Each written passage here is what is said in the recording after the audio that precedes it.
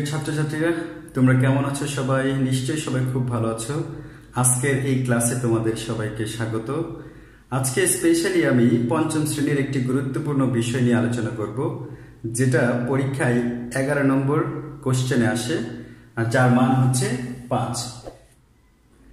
এগারো নং প্রশ্নটা কীভাবে পরীক্ষায় আসে এবং তার উত্তর কীভাবে দিতে হয়, আজকে পুরোপুরি আলোচনা করার চেষ্টা করব। আর প্রথমেই আমাকে জানতে হবে যে এগারো নং প্রশ্নটি কীভাবে আসে এবং কয়ভাবে পরীক্ষায় আসতে পারে? আমরা এখানে লক্ষ্য করলাম, বোর্ডে লেখা আছে, তিন ভাবে পরীক্ষায় আসতে পারে। অর্থাৎ এগারো নং কোশ্চেনের প্যাটার্ন তিন রকম। Number one fill in the blanks অর্থাৎ সেটা শূন্যস্থান পূরণের মতো, যেটাতে বেসিক্যালি ফিল ইন দ্য ব্ল্যাঙ্কসে লিখতে হয় টাইম অথবা অনেক সময় তোমার অর্ডিনাল নাম্বারগুলো ইউজ করতে বলা হয়। অর্ডিনাল নাম্বারগুলো কি কি আমরা একটু পরে আলোচনা করব, যখন ফিল ইন দ্য ব্ল্যাঙ্কস নিয়ে আমরা পুরোপুরি আলোচনা করতে যাব। নাম্বার টুতে আসে অ্যান্সারিং কোশ্চেন দুই ভাবেও আসতে পারে, তিনটা প্রশ্ন দিয়েও আসতে পারে, পাঁচটা প্রশ্ন দিয়েও আসতে পারে। তো সবচেয়ে সহজ হবে যখন পাঁচটা প্রশ্ন দিয়ে আসবে, পাঁচটা প্রশ্ন উত্তর লিখে ফেললে হয়ে যাবে। কিন্তু তিনটা প্রশ্ন দিয়ে যখন আসবে, তখন প্রশ্ন উত্তরগুলো লেখার সময় একটু তোমাকে বুঝে শুনে লিখতে হবে। আর কীভাবে লিখতে হবে সেটা অবশ্যই অবশ্যই আমি তোমাদেরকে শেখাবো। নাম্বার থ্রি নাম্বার থ্রিতে শিডিউল আমার এখানে লেখা আছে শিডিউল অফ অর্থাৎ যে কোনো বিষয়ের একটা শিডিউল তোমাকে বলবে লিখতে। শিডিউলের বাংলা হচ্ছে তালিকা। অর্থাৎ তোমার প্রশ্নের মধ্যে লেখা থাকবে, ধরো তোমার ক্লাসের শিডিউলের এখানে দেওয়া আছে। তুমি কীভাবে এই শিডিউলগুলো মেনটেন করো?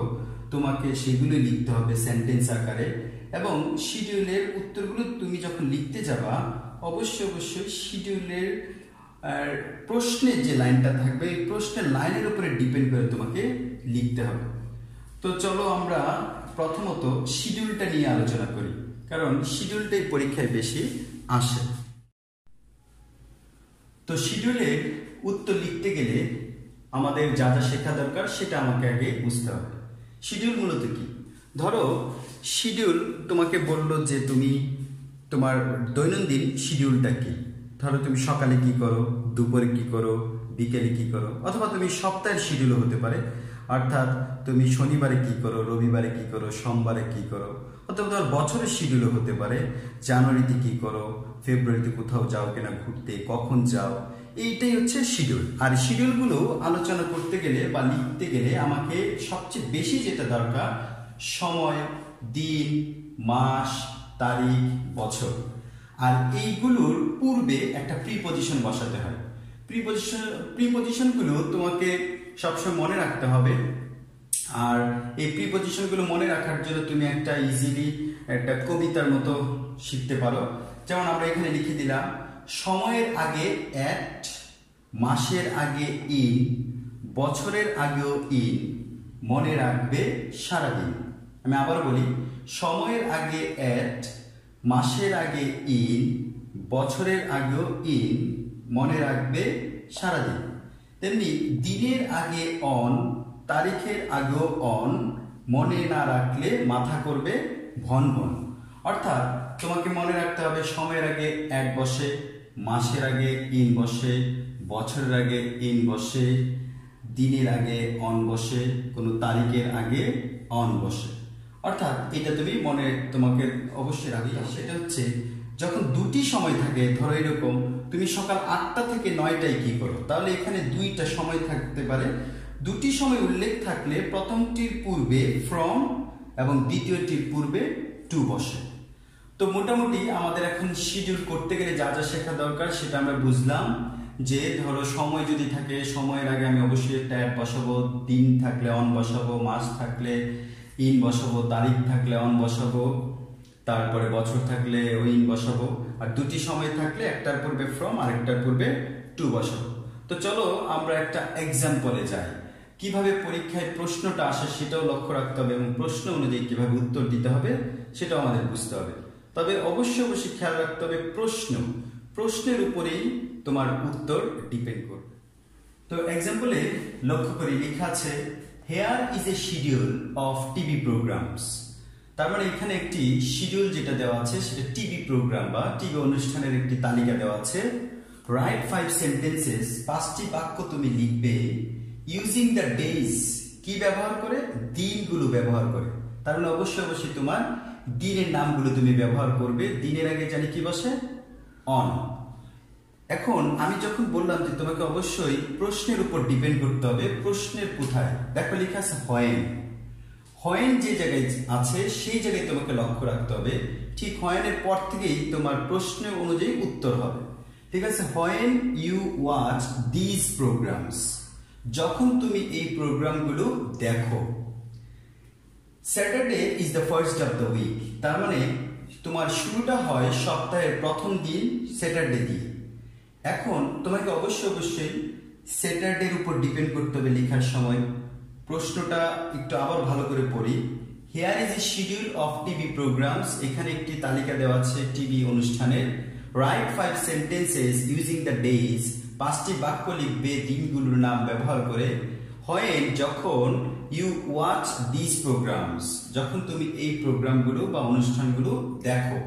Saturday is the first of the week শনিবার হচ্ছে সপ্তাহের প্রথম দিন।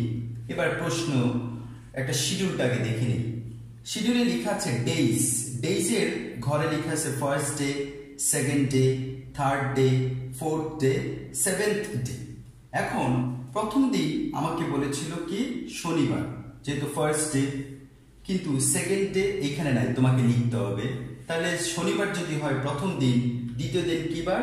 রবিবার মানে সানডে তৃতীয় দিন সোমবার মানে মানডে চতুর্থ দিন Saturday Sunday Monday Tuesday seventh day তার মানে হয়ে যাবে ফ্রাইডে তার মানে পাঁচটা বক্স আছে, পাঁচটা বক্সে পাঁচটাই আমাকে অ্যান্সার লিখতে হবে।